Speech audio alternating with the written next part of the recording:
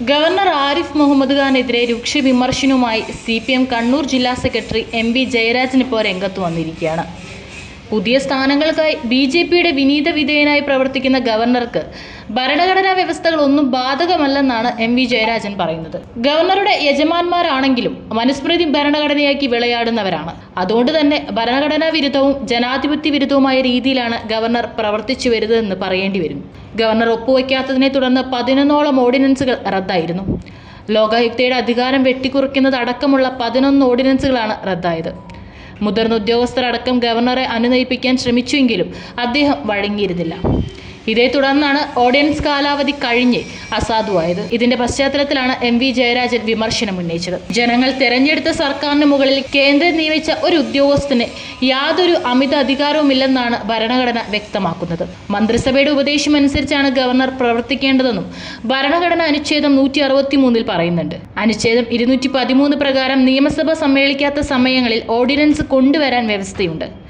പുതിയ സ്ഥാനങ്ങൾക്കായി B J പിയുടെ വിനീത വിധേയനായി പ്രവർത്തിക്കുന്ന ഗവർണർക്ക് ഭരണഘടനാ വ്യവസ്ഥകളൊന്നും ബാധകമല്ല. ഗവർണറെ വ്യവഹാരത്തിൽ കക്ഷിയാക്കാൻ ഭരണഘടനയിൽ വിലക്കുള്ളതിനാൽ എന്തും ചെയ്യാമെന്ന ധിക്കാരം ജനാധിപത്യ വിരുദ്ധമാണ്. നിയമസഭ ഓഗസ്റ്റ് ഇരുപത്തിരണ്ട് മുതൽ സമ്മേളിക്കാൻ മന്ത്രിസഭ തീരുമാനിച്ചപ്പോൾ അതിനെ ഗവർണർ സ്വാഗതം ചെയ്തു. എന്നാൽ നിയമസഭ പാസാക്കിയ രണ്ട് ബില്ലുകൾ തടഞ്ഞു വെക്കുകയും ചെയ്തു. ഈ നടപടി ഭരണഘടനാ വിരുദ്ധമാണെന്ന് മാത്രമല്ല നിയമസഭയോടുള്ള അവഹേളനം കൂടിയാണ്. ഓർഡിനൻസുകളും നിയമസഭ പാസ്സാക്കുന്ന ബില്ലുകളും രണ്ടും ഗവർണർമാർ തടഞ്ഞു വെക്കുന്നു. ഇടതുപക്ഷ വിരുദ്ധ രാഷ്ട്രീയ ക്രിമികടിയാണ് ഗവർണർക്ക് എന്ന് ആരെങ്കിലും പറഞ്ഞാൽ അവരെ കുറ്റപ്പെടുത്താനും കഴിയില്ല. ഗവർണറുടെ അംഗീകാരത്തിന് അയച്ച എല്ലാ ഓർഡിനൻസുകളും മന്ത്രിസഭ അംഗീകരിച്ചവയാണ്. നിയമപരിശോധന കഴിഞ്ഞവയുമാണ്. ഭരണഘടനയ്ക്കോ മറ്റേതെങ്കിലും നിയമത്തിനോ വിരുദ്ധമായതുമല്ല. പാസാക്കിയ ബില്ലുകളാണെങ്കിൽ നിയമനിർമ്മാണ സഭ വിശദമായ പരിശോധന നടത്തിയതുമാണ്. ഈ നിയമങ്ങളെല്ലാം സംസ്ഥാനത്തിന്റെ നിയമനിർമ്മാണ അധികാര പരിധിയിൽ പെടുന്നതുമാണ്.